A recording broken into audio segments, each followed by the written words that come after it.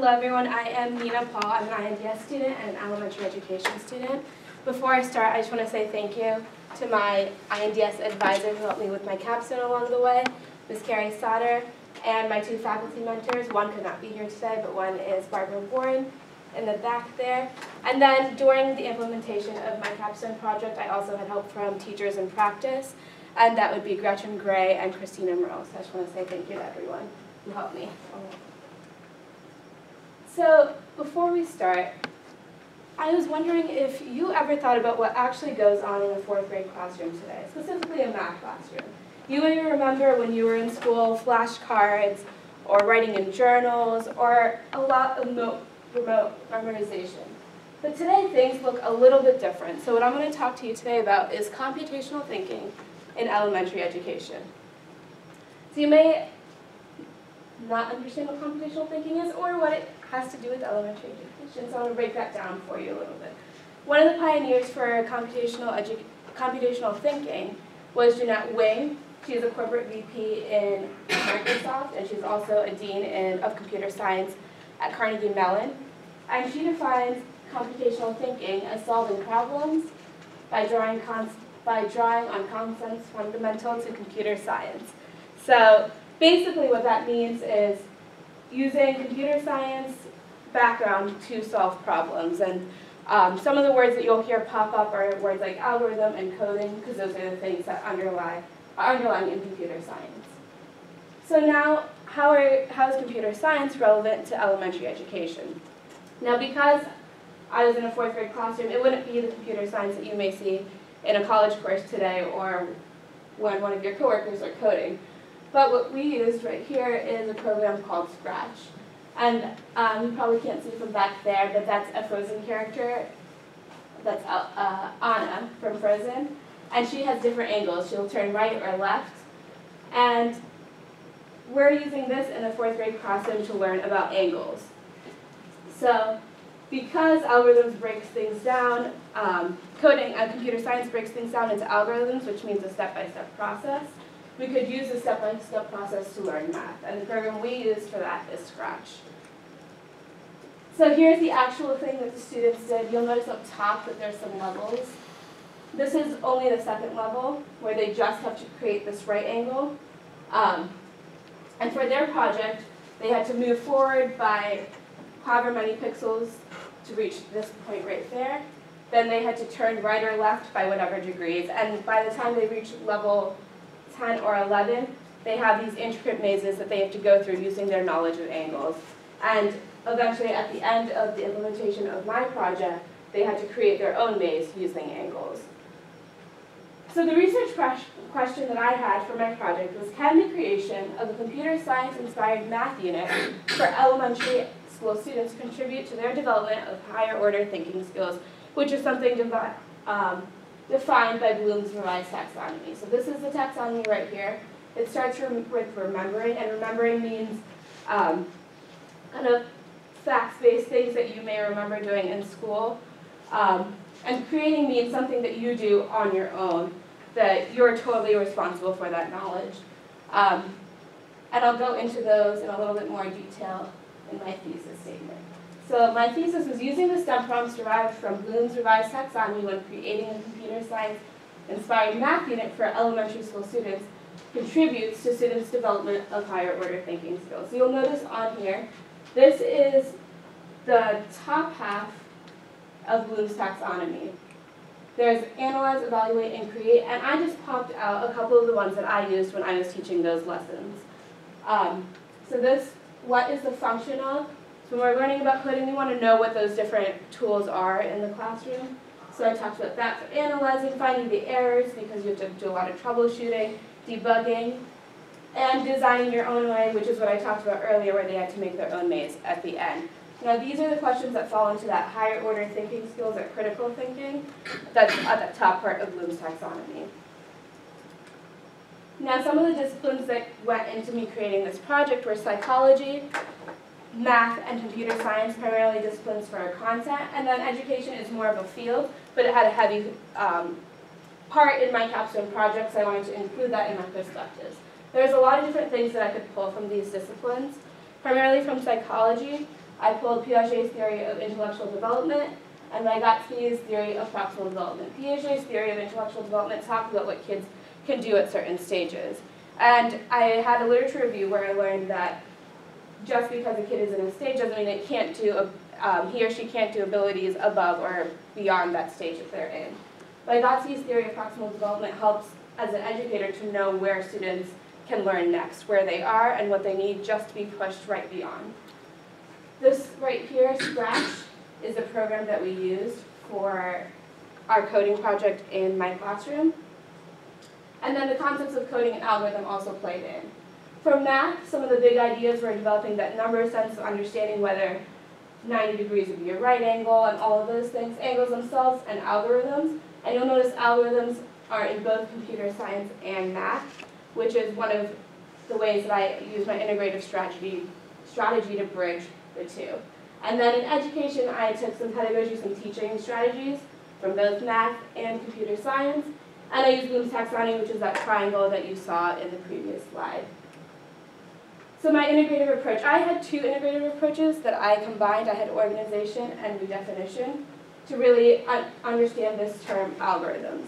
So with organization, I took that commonality between math and computer science of problem solving and the way that they approach problem solving to pull that term algorithm. Um, and because computer science is inherently based on math, I could say that I could, algorithms are also a part of computer science. And then in redefinition, math uses algorithms for computation and proofs, and computer science uses it to solve a problem, whatever program they're given. And both of those approaches are step-by-step -step approaches, even though they're not being used in the same way in math and the same way in computer science, they're still the same idea that they're moving, that you're moving step by step. Now my methodology. To start my research, I first conducted a literature review. So my literature review, I took different sources from the professors that I had here from UMBC, recommendations, and then I looked at those journals with these three different journals with a couple of different search terms to help me really hone in on what I wanted to review. So the things that I was really looking for was Bloom's taxonomy and Piaget's theory of intellectual development. Those are, I wanted to know what the criticisms were of Bloom's taxonomy because when I implemented it in my classroom, I wanted to make sure I was using it correctly. And I wanted to know what my students were developmentally ready for. Because coding is such a big idea and it's something that um, is more prevalent in high school, implementing it in a fourth grade classroom seemed to be a bigger deal, and I wanted to make sure that my students were able to do that. So I did conduct my literature review, and then I had this experimental design where I went into a Howard County classroom, a fourth grade Howard County classroom, and I conducted these lessons with the help of my um, teaching mentors.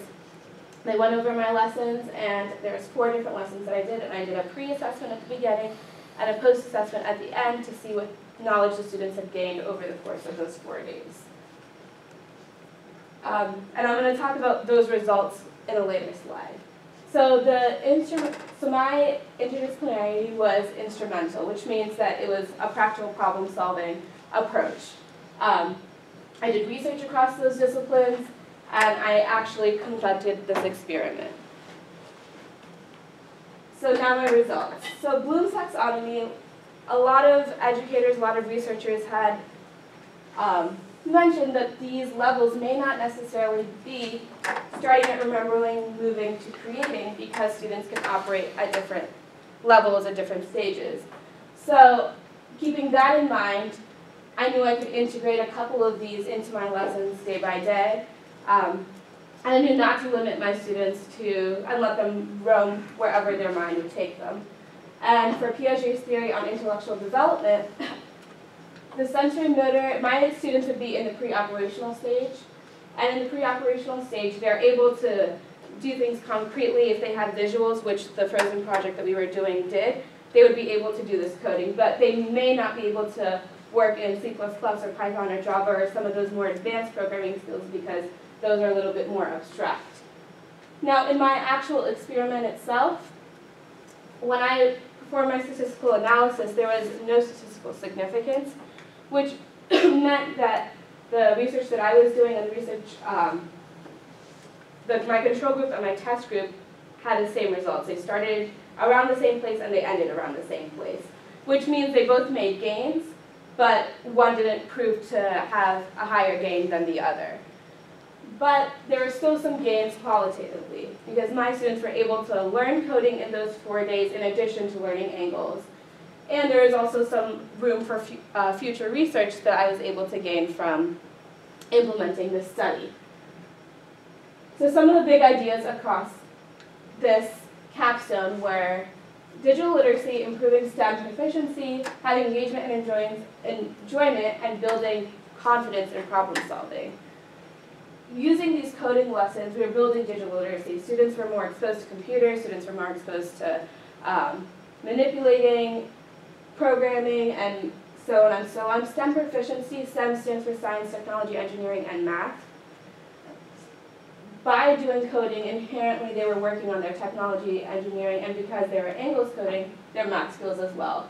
Other studies, um, the study by, done by Merle Huerta showed that engagement and enjoyment were one of the byproducts of using technology and coding in a classroom.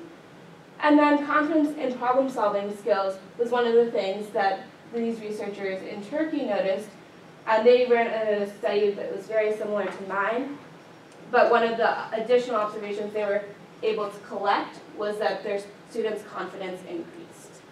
So in conclusion, I want to revisit my research question. Can the creation of a computer science-inspired math unit for elementary school students contribute to the development of their higher order thinking skills as defined by Bloom's taxonomy?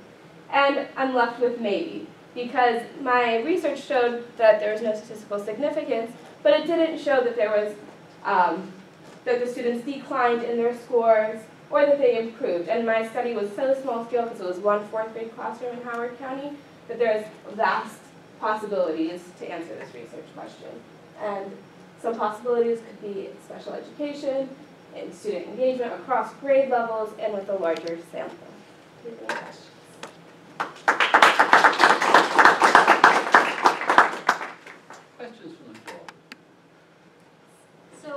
you talked a lot about your students' experience in this lesson, um, but as a teacher, so one of your main functions is to kind of keep the space and the attention Mm-hmm. um, of your students in their learning. So did you find it easier using these computer programs, or what kind of challenges did that present to you in that regard? That's a great question. So for some of my students, because all students are different, this worked really well, which is why I pointed out special education as one of the future research poss possibilities. A lot of the students with individualized education plans, they were a lot more engaged than some of the other students. And then some students who were inherently into technology, into coding, who were loved doing it all the time, they were also really into them. And then other students, I had done this survey at the end, um, where students could tell me if they liked coding, if they actually learned through coding, if they would do it again. And all the students said they learned through coding, but they may not and some of the students said they may not necessarily do it again to learn from again. So some of them really enjoyed it, and then some of them didn't, which I think you'll find in a lot of classrooms. Anyway.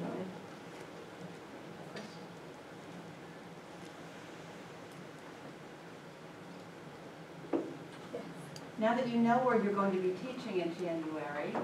congratulations, um, what are you going to take with you from this project? What's like one big kernel So one of the cool things that I found during my, um, before I graduate in the elementary education program, you have to do a teaching internship. And so during my teaching internship, one of my mentors has this coding program that was very easy to integrate into um, math lessons every day. And because the school I'm going to teach at also is a huge coding school, it's one of the schools where um, that's something that's important to them. Taking the idea, I shared my capstone with them, I talked to them about the different things that I researched and that how I could, instead of taking time, because time is really precious in any classroom, instead of taking time aside just to teach coding, the way I can integrate it into different content um, was something that I think I'll take into my classroom and that they really enjoyed that I could take into my classroom. Okay, so this is so not a trick question. I'm asking you to teach me something I don't know. I didn't understand what you're saying about Piaget's theory, the idea that on the one hand it clearly defines levels, and on the other hand those levels don't necessarily apply. Yes, I see How about it can be confusing. So some of the levels that I'm, when I was thinking and trying to communicate that, a child who's on the sensory motor stage, which means a child from like zero to two, wouldn't be able to operate on the same um, scale as a child who was in concrete operational, who could manipulate things, who could walk, stand, you know, is reasoning abstractly with the world. Um, so in that case, they wouldn't necessarily overlap. But then some students in my classroom where I was really looking at that gap where it could cross two levels is um, mine were sensory motor and they could, some of them could possibly also reason abstractly without those visuals. So when they were creating their final project on that Friday, that was a day that I could see whether they were able to, you know, start reasoning abstractly. But it may not be something that I necessarily expect. The general, um, like the average student will most likely not be able to reason abstractly, but just because P- Piaget's theory tells me that they're not going to doesn't mean that all of them won't. So I wanted to give them that ability too, so it moves across That levels. helps a lot. Yes. Yeah, building off of that, how do you differentiate for students that are on different levels with a computer program that is, I think, basically just for one level? So,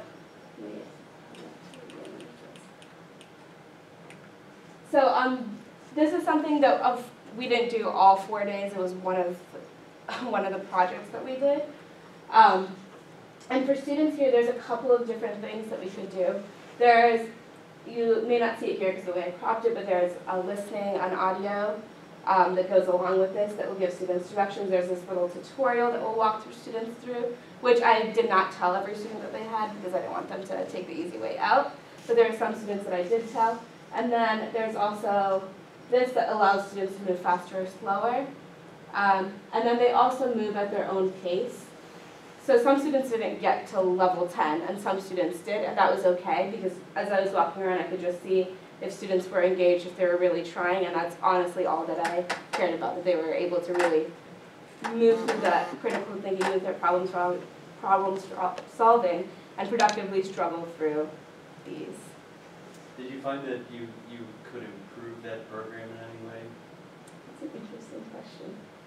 That is something I would consider. It would be, um, if I could, I think this would be a very cool thing to take into, there's not, it's very limited, the amount that I can do with coding. Um, there's like fraction stuff and angle stuff, but it would be very cool to put it into like adding, subtracting across content. And if you're talking about differentiating things that I would add for that, um, even bigger text, because some of these are small, it's kind of hard to see. Um, and reading these out would probably be things that I would add to this differentiate. I can't resist then plugging. It would be interesting to see what you thought of Shelley's paper. When you've handed yours in and all the stress is behind you, see about that culturally responsive to look for this sort of connection. It's